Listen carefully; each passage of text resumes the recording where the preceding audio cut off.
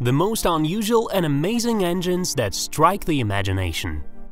The problem of distance is one of the root factors that helps or hinders human development. The transportation of goods, raw materials, products, and machinery is crucial from a logistical and productive point of view. Everything will be much more efficient if the transport has higher efficiency. Since civilization's total rejection of horses as the primary means of transportation and the advent of the first steam engines and ICE, progress has come a long way. A lot of scientists and excellent engineers at different times invented and patented an enormous number of different engines with amazing features. Many nuances made them cheaper, more powerful, more durable than the ICE we are accustomed to. It's a pity that all these factors did not come together, so the ICE is still the leader on the globe. Moreover, some engines were ahead of their time, and some developments were used to create more modern engines and technologies of the future. For example, today humanity is trying to switch to electric cars, although this is a very debatable decision. However, did you know that the first electric car came before the internal combustion engine machine? Also, throughout the history of mechanical engineering, many extremely unique examples have appeared that are worthy of attention.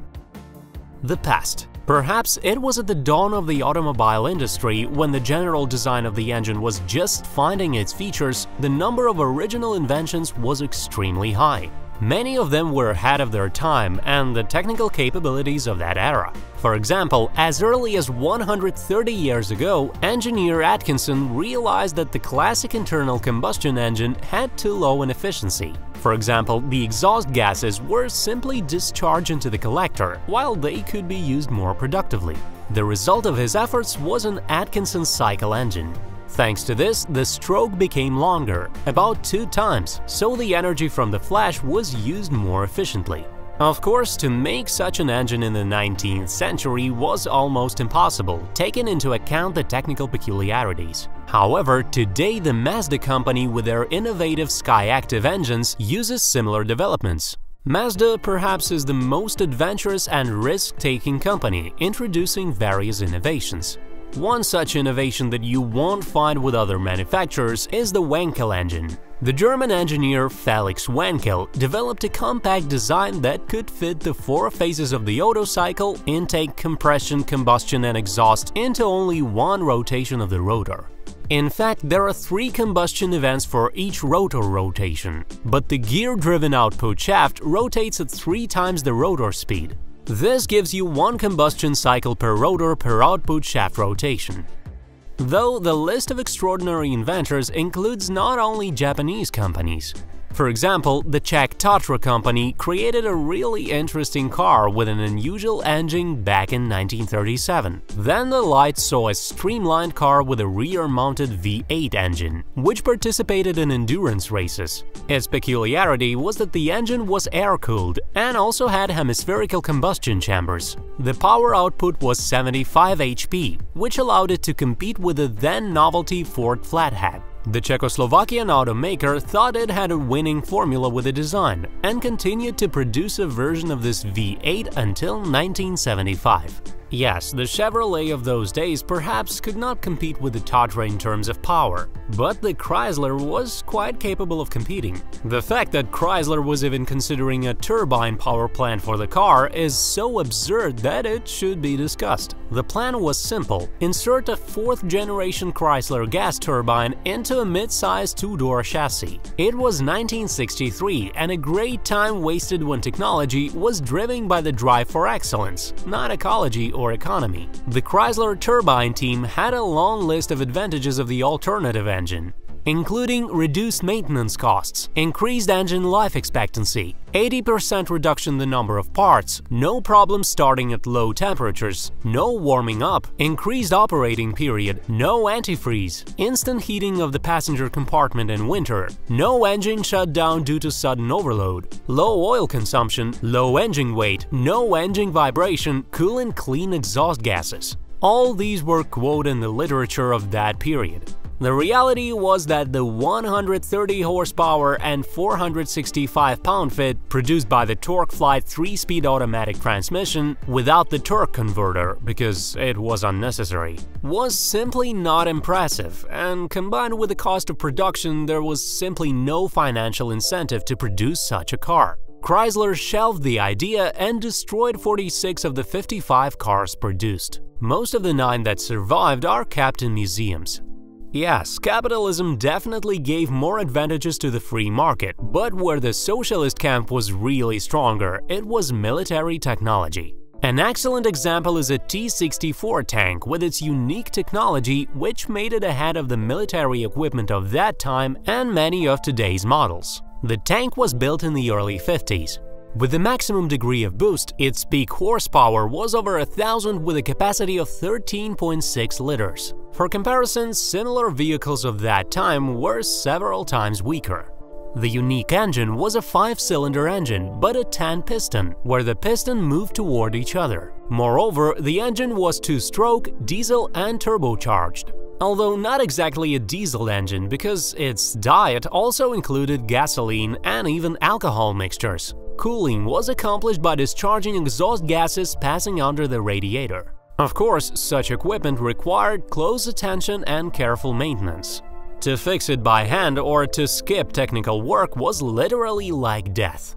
For military equipment, this is not the best characteristic, so the equipment was gradually abandoned.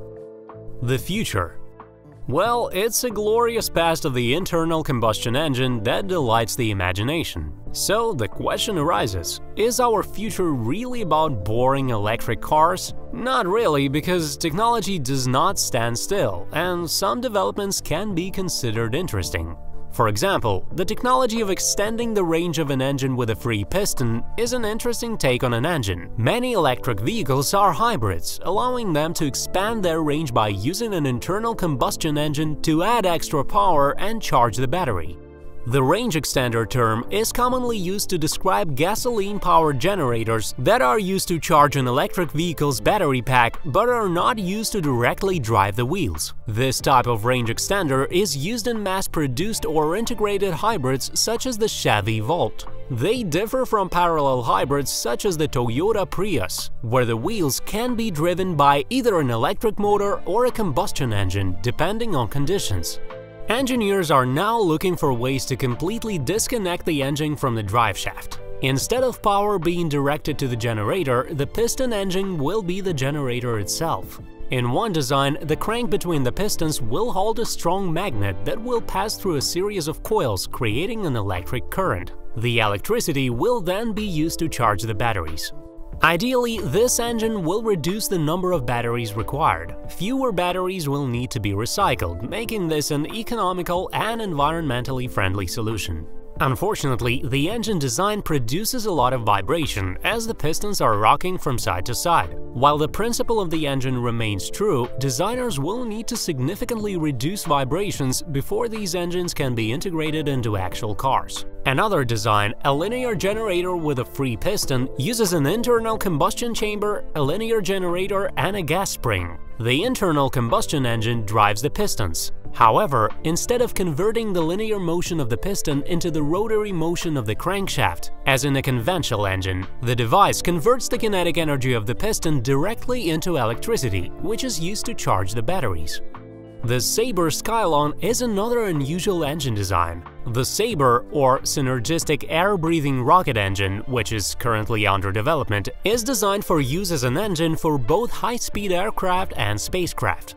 Conventional rockets are power-driven by fuel, liquid hydrogen, kerosene or methane, and oxidizer, liquid oxygen. When the fuel and oxidizer burn, the mass is ejected from the back of the rocket, creating thrust. However, this type of engine limits the size of the payload because increasing mass means a higher need for fuel to lift the craft off the ground. Sabre, on the other hand, is a hybrid rocket engine capable of reaching Mach 5 speeds.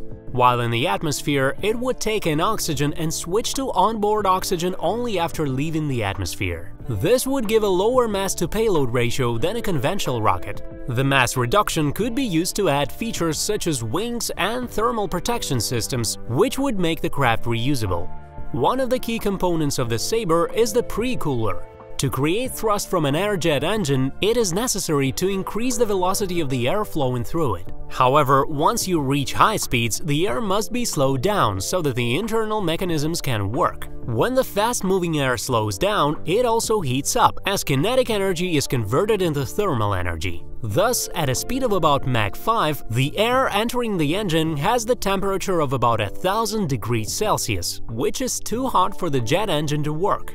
Sabre uses a pre-cooler to decelerate the air. The fast-moving air is decelerated first by suction through a series of shock waves created by geometry of the engine components. As it decelerates, it heats up, but then this hot air passes into the pre-cooler, where heat is transferred from an internal fluid flow such as cryogenic helium. Once in the engine, the air goes through a cycle involving compression, combustion, regeneration, and finally expansion. As it passes through the engine nozzle creating propulsion, the thermal energy that has been transferred to the pre-cooler is used to drive the engine. The vaporization engine is very unusual indeed. The new vaporization engine powered by bacteria is unlike any other engine. The engine developed by scientists does not use conventional fuel, but bacteria. In nature, many types of bacterial spores remain dormant until they come into contact with moisture. The researchers places these spores in plastic wrap to exploit the ability of bacteria to absorb and re-release water very quickly. The plastic wraps coated with the spores bend and straighten in response to changes in relative humidity. The movement is created by attaching hundreds of bacteria-coated straps to the side of the wheel. By using a shutter mechanism to create vibrations, a difference in humidity is created.